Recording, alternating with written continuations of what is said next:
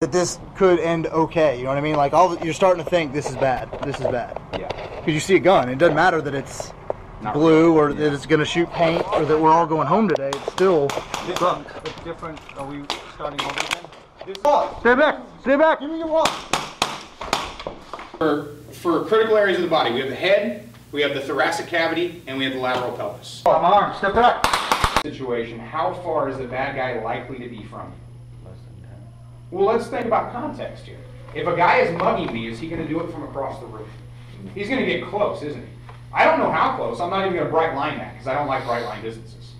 But what I will say is he's going to get close enough, common sense tells me, to speak to me. And he's probably going to get close enough to speak to me where someone close by might not overhear. Um, you're, everybody's familiar with the T zone, right? Well, the T zone is technically incorrect. Technically. Medically speaking, it is wrong because it focuses on the eyes as the top of the T. It doesn't do that because there's necessarily really critical stuff behind the eyes because there's still brain matter behind the eye.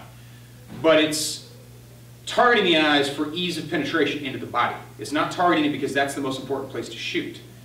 From here down and here, I have less resistance offered by the skull for a bullet to penetrate. That doesn't necessarily mean it's the best place to put the bullet. So outside of the head, we have the torso. Um, this is where people commonly train to shoot because it's the greatest margin of error. If I'm taking 45 soldiers or 45 police cadets or 45 citizens off the street and teach them how to shoot, and I only have a short period of time which to teach them how to be proficient, I want to give them the best chance of success. So I'm going to give them the chest. Unfortunately, it does, without context, again, we come back to context, give people a false sense of effectiveness. Does it not? Absolutely. Just because I can get someone to hit the body and they hit it pretty well, are they necessarily understanding what's going on? Why we shoot there? Uh, some people preach center mass, center mass, center mass, center mass, center mass, and they actually say this is center mass. Well, we just talked about that. Center mass is the center of the target I select or that's offered to me. In the best case scenario, your bad guy's going to be square to you. But is that always going to be the case? I only need an eye and a hand to hurt somebody. I can get behind a wall, put my arm right down the wall, and just use my bleeding eye to aim the gun. And that's all you're going to get. So where do you shoot me then? Do you have that high thoracic cavity? Do you have that center mass? No, you have an eye and a hand and a gun. And maybe some shoulder. Maybe a little bit of chest. That's it. That's kind of like worst case scenario. Inside the chest, we have the hearts and lungs. Lungs are critical for life function, but not immediately critical. You can take a bullet through the lung and still fight. Heart is center of the chest, two thirds of it's above the nipple line, roughly center of the chest, left leaning. Um, it's not here. Everybody say put their hand on their heart. I always did this. People stared at me like I was stupid. This is where it's at. I understood that as a child because I happened upon an anatomy book and flipped through it and I learned, shocked the hell out of me. I learned the heart wasn't shaped like this. I was like, oh my God, I've been lied to. I was a kid, like my whole world was destroyed. I was 20% of his blood, everybody has to lose at least 20% of their blood to begin to experience CNS failure. How long with a heart shot does that take? Four seconds or more, depending on the size of the hole in the heart. How many final actions can I have in four seconds? A lot. Four seconds is a long fucking time. How many rounds do you think you can fire a second? Um, from a draw, No, just if you, I put the gun in your hand right now and ran a shot timer, how many rounds do you think you could get off in a second? I thought I say four or five. Four or five. Um, I don't, and I don't want to quote this because I don't know where the data came from, but it's one of those things that somebody told me, and I verified it myself just on a shot timer. They say that the average person can pull the trigger four times a second on a single action handgun.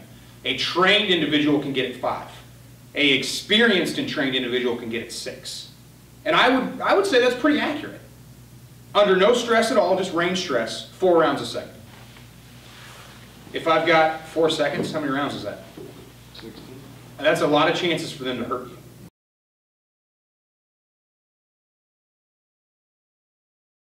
All right, so what happened? Tell me, uh, tell me what you had. Tell me what you saw.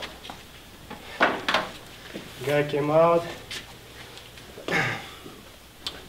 No weapons or anything.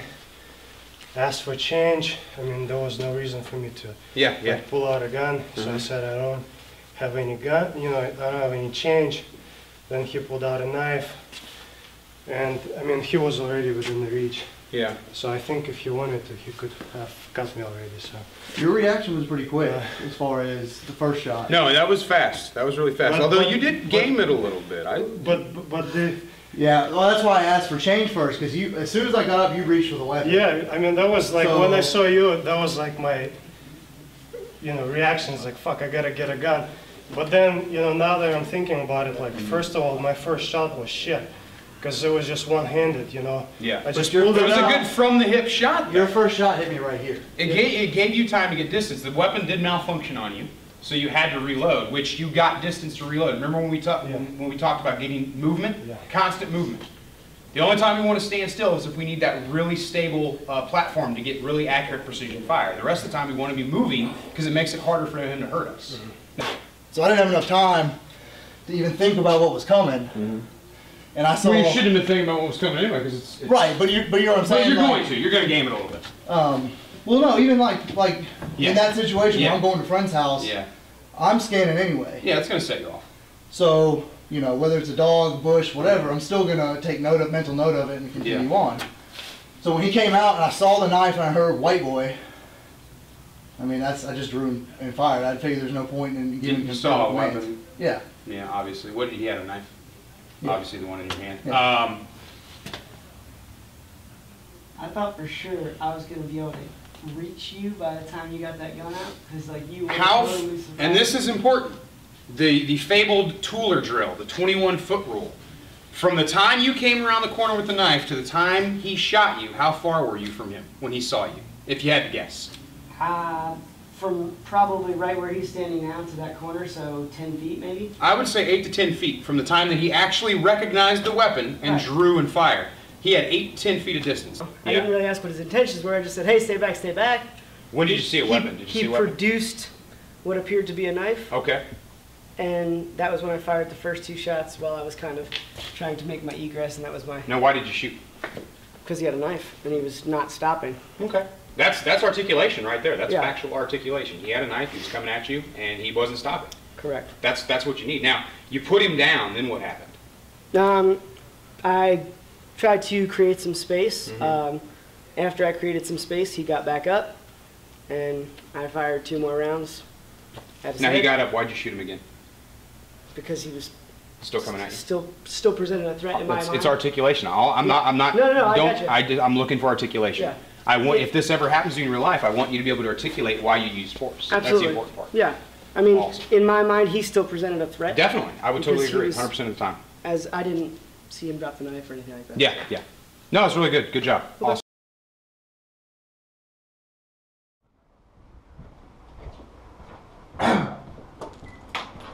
Whoa! Whoa! No. Back up! Back up! Whoa! No!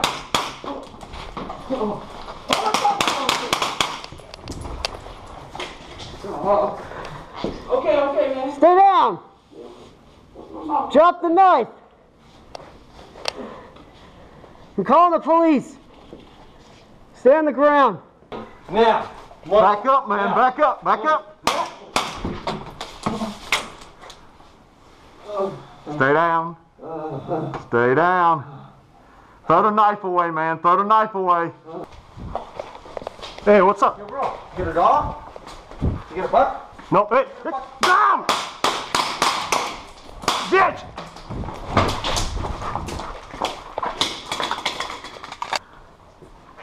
Hey man, what's going on? Hey, what's up, bro? Hey, you got a dog? No, man. What about the time? You got the time? No, no, not tonight, buddy. No time? Nope, not tonight. Come on, man. No, I'm good. All right, well, how about, how about some, you don't have any money whatsoever? No, man. Take her easy. You You don't got a wall want to step back? Let me see your wallet. I'm armed. Step back.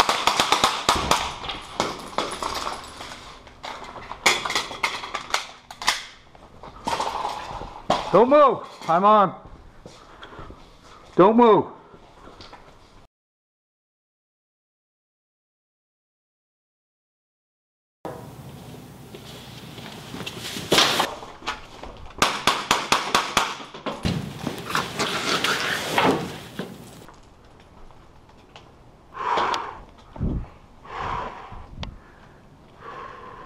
Right up right after we left here. Alright, cool. We'll text and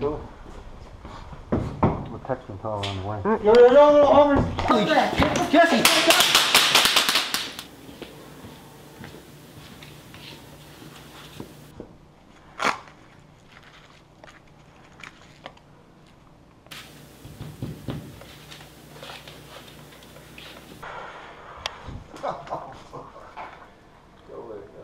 Me Get back. Get back. All right, all right. Drop the knife. All right, all right, I'm done. I'm done.